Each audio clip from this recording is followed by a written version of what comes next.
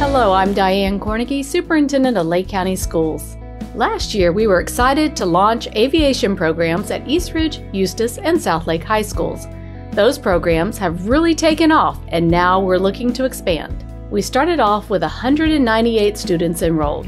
Collectively, they earned 142 college credits worth more than $200,000, primarily through a partnership with Embry Riddle Aeronautical University.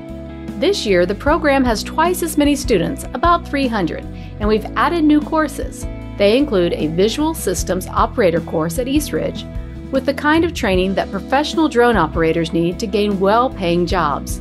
We also added a private pilot ground school course at Southlake and unmanned aerial vehicle operations at Eustis, where this semester students will be flying drones. Additionally, Leesburg High School started teaching Embry Riddle classes focused on an introduction to aerospace concepts, as well as drone aircraft safety and operations. We're also seeing great accomplishments from students in the Aviation Club at Umatilla Airport. There, students from Umatilla and Eustis High Schools are partnering with the local Experimental Aircraft Association chapter to build a plane. The fuselage is done, a canopy is on it, and wings are standing by. Eventually, students will put an engine in it, fly it, sell it, and use the money to extend the experience to the next group of students. Next year, we plan to expand the program even further with the help of $350,000 in state funding, we will be able to include aviation courses at Lake Minneola High School. Plus, we will add agricultural drone operations at Umatilla High, making it one of only a few in the entire state to offer this type of instruction. We are also looking to bring aviation instruction to our middle schools very soon to build excitement and develop interest at an earlier age.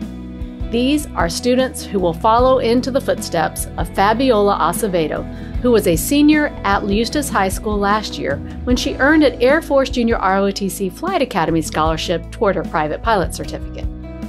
Another aviation success story is Mariah Langford. She was a senior at Eastridge High School last year when she led a team that designed a small unmanned aircraft help with package delivery by drones. She is now pursuing her private pilot certificate at Umatilla Airport, where she has already flown solo and is preparing her cross country flight training. Those are just two of the many students who are soaring in our aviation program.